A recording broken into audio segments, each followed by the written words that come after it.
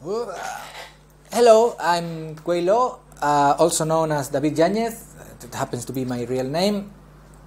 I'm one of the winners of the Reset competition of Filmaka.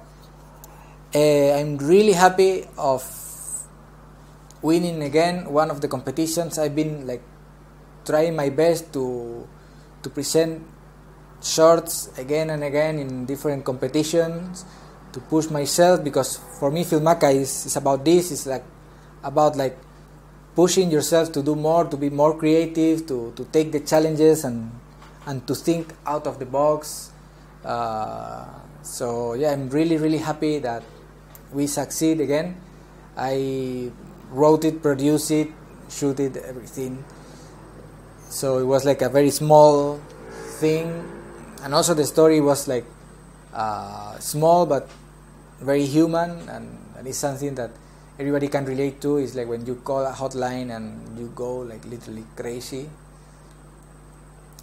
So yeah i'm, I'm really happy to, to to be part of this community and also to, to, to be one of the winners. So stay in touch for more amazing shorts